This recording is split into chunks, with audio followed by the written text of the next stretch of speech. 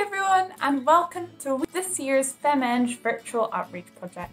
We're going to be learning about biomedical engineering and making some foam hands together. My name is Lisa. I'm a third year biomedical engineering student and I'll be your mentor this week. I'm also the outreach convener of FemEng. So what do biomedical engineers do? Well, Biomedical engineers use engineering principles to help solve medical problems.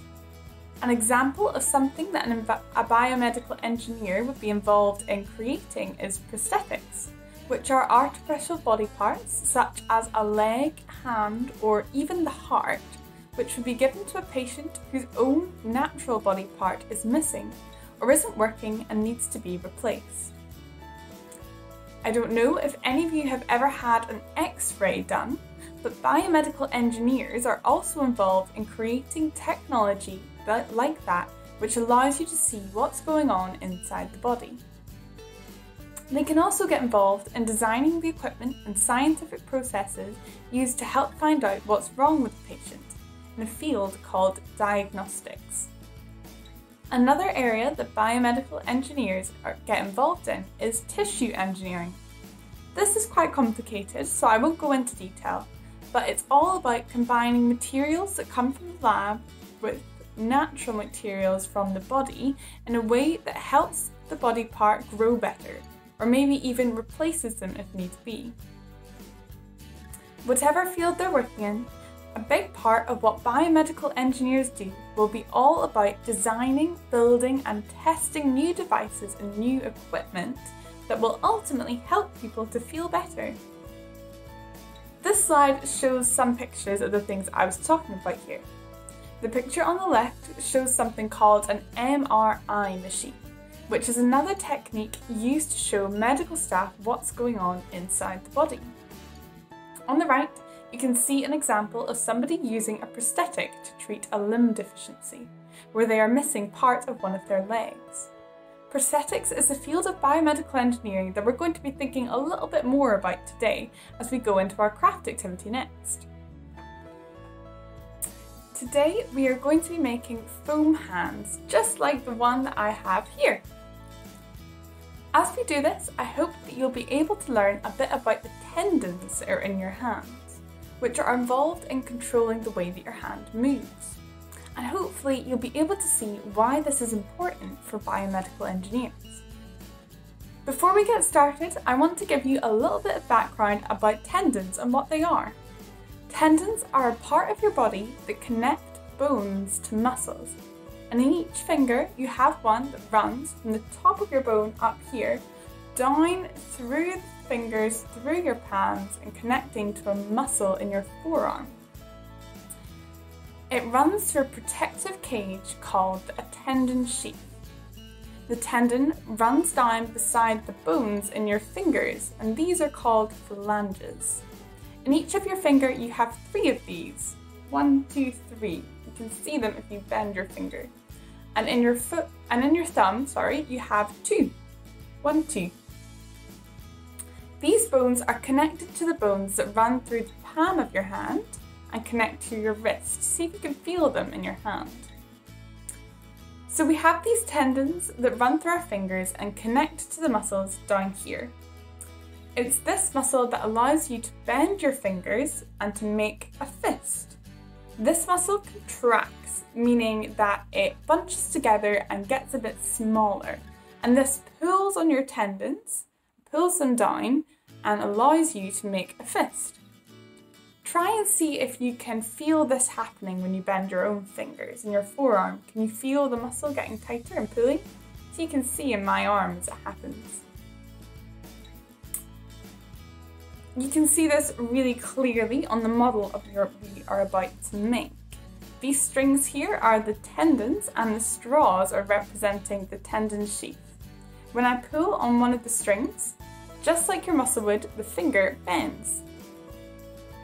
But why is this important to biomedical engineers? Well, biomedical engineers could be involved in creating a prosthetic hand, which is a replacement hand for someone who doesn't have one. To do this, they would need to know all about how the hand works in order to be able to create something that works in a similar way to the real hand. Let's get started with making our hands. Here's a list of all the things you'll need. I'm using craft foam because it's really good and flexible and it bends right back when you bend the finger. But if you don't have that, you can use card like this and it just might not spring back easily. You will also need some straws. Probably going to need about five, but it might be handy to have a few extra on hand in case you need some more. Um, then you also need string, some tape, and then you'll also need a ruler, scissors, and a pencil to draw your outline. You're also going to need something to help you hold up the hand so that you can pull the strings. I'm using a pencil here, you could also use the handle of a wooden spoon or a chopstick, but don't worry because you can get this back, it will be really easy to take off once you're finished with that. So if you don't have any of those things, I suggest you pause the video now and go them. Other than that, let's get started. The first thing I'm going to do is take my piece of craft foam and draw around my hand.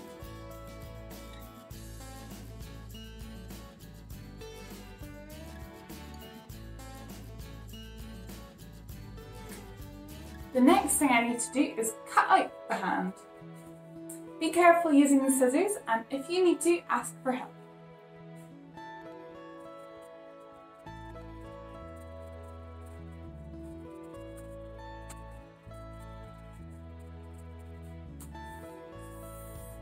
And here I have my hand template. The next thing that we're going to do is make the tendon sheath. In reality, this runs all the way down from your finger and isn't in chunks. It's flexible and so it's all one piece. But we're going to do it in little sections just so that we can still bend the hand and be able to see what happens when you pull on the tendon.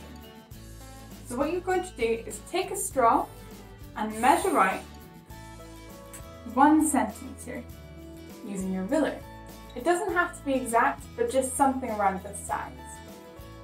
Then you're going to cut along the line you've made so that you just have a little bit of straw left. You're going to do this 14 times to make the, the pieces of the tendon sheath that we're going to stick onto the hand.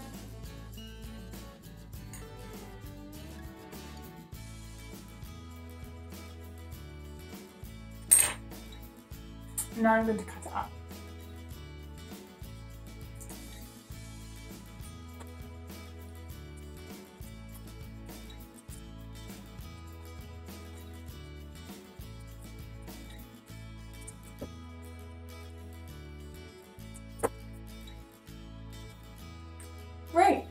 now we're going to stick on the little bits of straw onto the hand next to where the phalanges would be. So you've got 14. That means there are three in each finger and two in your thumb. As you can see here, so it's two there, one, two, three in each finger. Make sure to leave a gap between them when you stick them on so that the finger can still bend down. That's why we've cut it into pretty short pieces. I'm going to use tape to do this, but you can use glue if you want. You could use any type of tape, I'm using masking tape.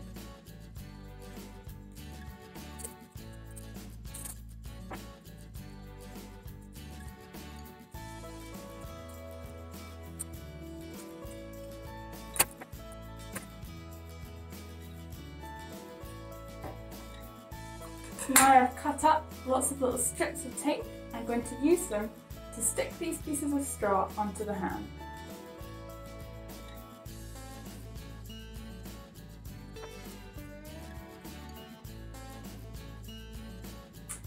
Be sure to leave a small gap at the top of the finger as well so that we have room to secure the string at the top.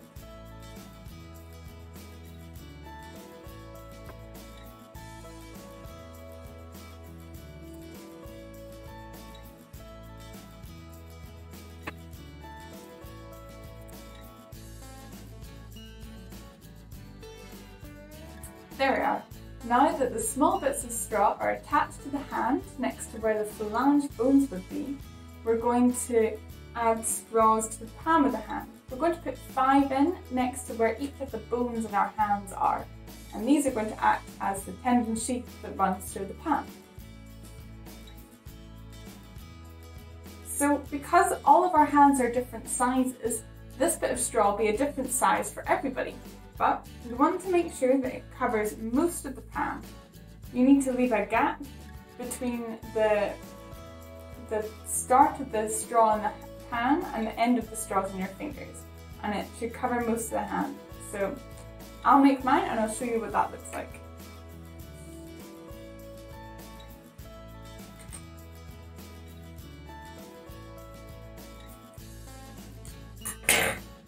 This is the size of the straw that I'll be using for the thumb. Now I'm going to make straws to go in the palm for each of the other fingers.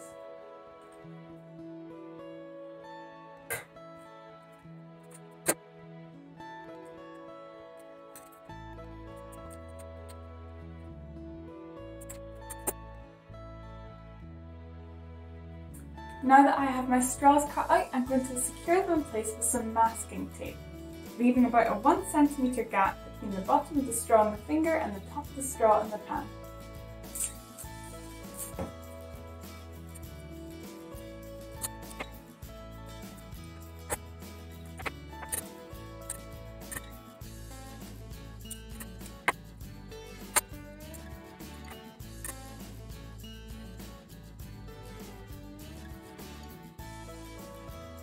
Now we've got all the straws attached to the hand.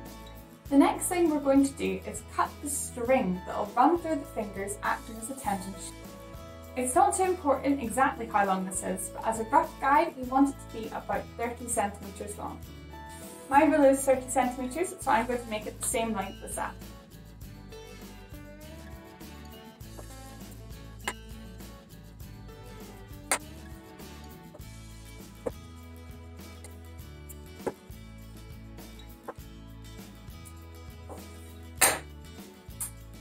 Have our five pieces of string.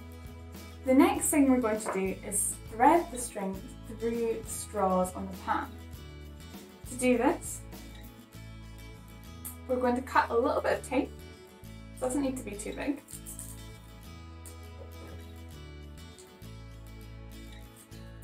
And we're going to use this tape to secure the top of the piece of string the top of one, one of the fingers. I'm going to start here on the pinky.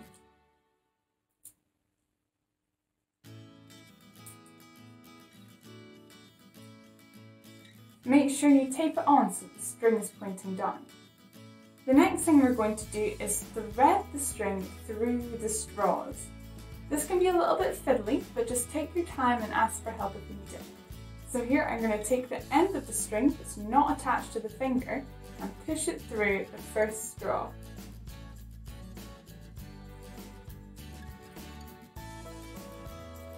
And then I'm going to continue doing that until it's through all the four pieces of straw on this finger.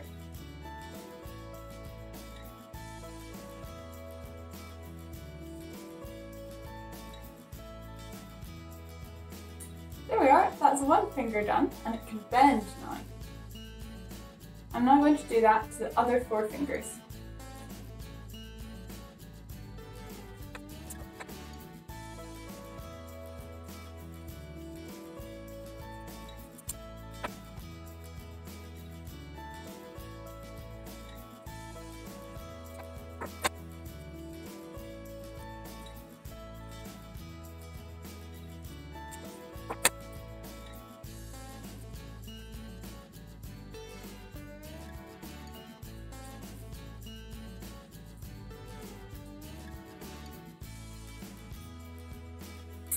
Now I have a piece of string threaded through all four fingers and the thumb. The next step is to be to stick on my handle. I'm just going to use the pencil that I was drawing with earlier and I'm going to tape it between two of the two of the bones here on my hand.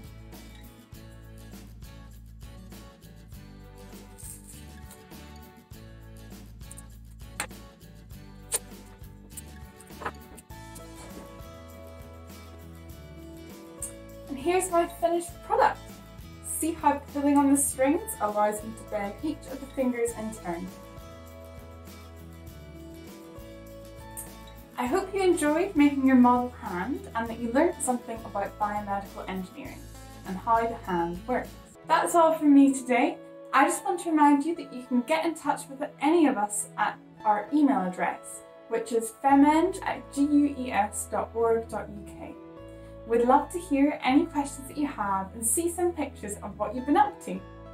I hope that you all have a great week and I'm looking forward to meeting you on our video call soon.